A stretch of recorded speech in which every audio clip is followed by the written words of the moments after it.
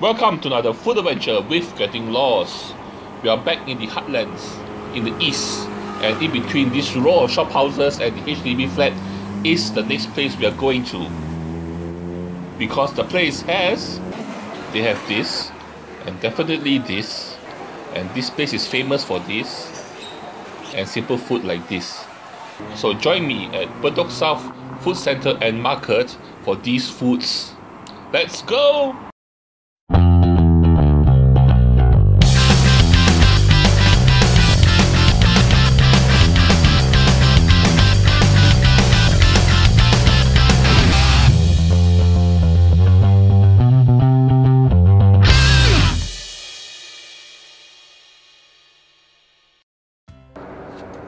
Let's start with how to get there.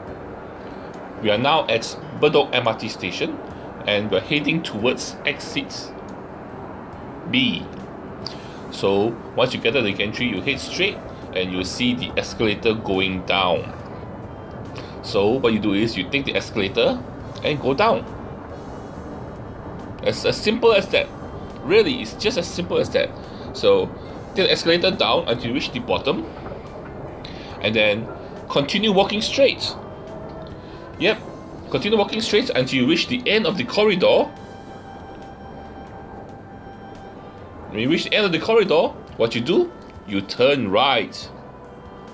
Okay, on your left here, this is exit C. Exit C will take you to Bedok Mall, which is which you can actually go to the interchange from there, but this will be a more direct route. So you keep walking past the exit C entrance, and then once you reach the end of the corridor here, you turn right. And guess what? Another flight of escalators going up. So what are you gonna do? Take the escalator up until you reach the top. And this is exit B, the exit that we're looking for. Okay, so get out of the exit, and on your right you see there's a, the main road. Directly in front of you is actually a bus stop. But this is not where we're going to take the bus from. We are going to the Bedok bus interchange to take the bus. Where is the Bedok bus interchange? Well, just keep heading straight ahead. Yep, in front of us is actually the uh, Bedok Interchange Food Center, which we will cover that real soon. There's a lot of good food there. But anyway, so you see these uh, statues. So you just keep walking straight, walk past the statues. Okay, and then you turn left. Okay, as you turn left, you see an escalator going up. This is the escalator that I want you to take to go up. Because once you go up the escalator and you reach the top of the escalator, do you know what you will find? You'll find the Bedok bus interchange. And this is where we're going to take the bus. Okay, so basically, uh, when you are at the bus interchange, you need to know which bus you're going to take. So the bus we're going to take is either bus number 38 or 229. Okay, you can actually look at the uh, the TV there, but let's go back a bit and look at the signboard. So as you can see, bus 38 is at berth B6 and bus 229 is at berth B8. Okay, so uh, after you look at the signboard, what you do is you look at the TV screen. The TV screen will tell you when the bus is coming. So since we have the bus is at, at two different berths, so as you see here, the bus here is uh, coming at 12.25 um, and now it's uh, 12.19. Okay, and now let's wait for bus 229. Okay, bus 229 comes is 12.31. So the earliest timing is coming is at bus 38, which is at uh, berth B6. So we just head there and wait for the bus. Okay, there is number 38. Also, a few things you need to take note of.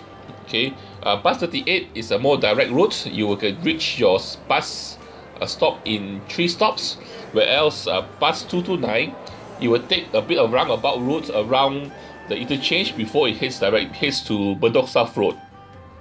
So this one is around uh, six bus stops from the bus interchange. And here's the bus uh, stop itself. the bus stop is actually opposite Temasek JC bus stop. Okay, as you can see, this bus stop is directly opposite Temasek JC or Temasek Junior College. Okay, so as you're heading down the road, this is Bedok South Road. You will see uh, across the road is this a Junior College. So press the button and stop. Okay, so this is the stop you are looking for. Okay, so and this is a uh, main uh, entrance of Temasek Junior College, and this is the junior college itself, as you can see from the name on the wall, and they also have a rock climbing wall. Okay, so this is the bus stop. So once you get down from the bus, you head straight down this uh, cover walkway and you head all the way down, you'll reach block 16 um, Bedok South Food Center. This is the place. Okay, so this we're going to go in here. We're going to try a lot of the food here. And there's one very famous stall that sells uh, fried kway teow. And this is a very famous stall. There's always a long queue for the stall. And I've eaten it before and it's really, really good. One of my top five uh, favorite uh, char kway teows in Singapore. Okay, and this is the uh, Bedok South Food Center. Okay, and let's see, let's see what food they have. And here is the store I was talking about, my favorite uh, char kway teow shop. Okay, so basically, how what you do is you go in the go in the queue uh, the, someone will come up and ask you for your order like this lady here you just tell her what you want okay so you have uh, fried kway teow name of the shop is Hill Street Fried Kway Teow okay so basically you just tell her what you want. Like for what I did here I ordered a fried kway teow uh, three dollars or four dollars. I ordered the four dollar one and with chili. And here it is. So this is the char kway teow itself. It's a bit mushy but the bean sprouts is cooked perfectly still nice and crunchy and the smell coming up from this char kway teow is so intense that you know and you can smell this. Is cooked very nice. It's cooked very well. It's a bit sweet and savory and then there's lots and chunks lots and lots of pork lards inside there. So once you're eating it you can feel the crunch of the pork lard you know. And then look at it it's a bit dryish also. And it's just a very very good plate of char kway teow the only issue I have is that previously first time I ate this char kway teow it was cooked by the uh, original uncle. And I if I remember correctly the char kway teow itself was much better than this. But overall this is still a very good plate of char kway teow well fried very tasty and very delicious. Okay next up is actually a we are going to look at this shop called Warong Jawa okay basically like a typical Malay uh, food stall. they actually serve a variety of food besides nasi lemak which is which is what I'm going to order they also have uh, mee rebus, mee siam, lontong these are all very typical Malay dishes that you can get in any Malay stalls. most of the stalls will sell this basic basic set of food so if you do come to Singapore or go to any food court you see a Malay store 90% of them will be selling this the this particular set of foods. And so here is the nasi lemak that I ordered. Okay basically the rice is nice. It's a bit coconutty. Only thing is it's a bit uh, dry. But the chicken wing is nicely seasoned. Only thing is that it's a bit cold. If it was freshly cooked I think the chicken will be much nicer. Then we have the uh, fish and then we have omelette and cucumber. The fish itself is okay just that I don't like don't like this type of fish because the fish is very small and then there's a lot of bones in it. But the star of the show is this sambal chili. This sambal chili is very flavorful. When you bite to it it's full of flavor. It's slightly sweet. Actually not really slightly sweet a bit sweet because which is not very usual uh, for the sambal but it goes very well with the rice super goes very well with the rice overall not too bad a nasi lemak unfortunately when I'm trying to when I want to film the store or this shop called Enak the shop itself uh, was closed but I actually came went there a few days earlier to order the dish from this place. This place here have a very uh, has an Indonesian dish called nasi ambeng. Basically, it's a platter of food. Okay, you can have it eat it for one person, or you can have it for two person, four person, eight people, and then they will scale up the food uh, into a big platter according to how many people is eating it. Okay, so basically what you it basically comes with is this acar, which is uh, pickled vegetables, and then you have uh, bean sprouts here, which was slightly raw. It's actually slightly raw, and then we have a, a tauhu. I mean a, a bean curd and long bean in the curry sauce, and the beef rendang, which was okay, and this um, fruits acar.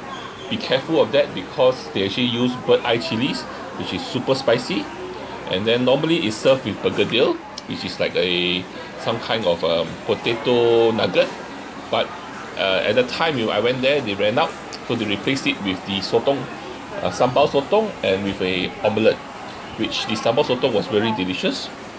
Overall, some of the dish is better than the others, but what this place is famous because this particular dish only costs you six Singapore dollars, and it can fill you for the next for the whole day, which is very worth it. Next shop is the Bedok South Niuji prawn noodles which there's always a queue for this uh, noodles itself. I've tried the noodles. The noodles, the bean sprouts is uh, ordinary. The pork slices and the prawn is I think overcooked. So the ingredients itself is very ordinary. You know, factory made, factory bought, factory cooked. But what is really really good about this dish that people line up for is the soup the stock where they cook the soup in it's really really really good. Okay? I think what they do is they cook it with a lot of pork bones and then the pork shell. I mean the the prawn shell. And they cook it overnight or for a long period of time to infuse this soup with all the flavor. And that's why it's so delicious. The soup itself is ooh very good. Even though the other dishes were just ordinary. Anyway this is the Bedok South Food Center I hope you enjoyed your tour here. If you like what you see please like share and subscribe. And you know what to do. Join me for my next episodes when I go to other places to enjoy more food. Anyway bye bye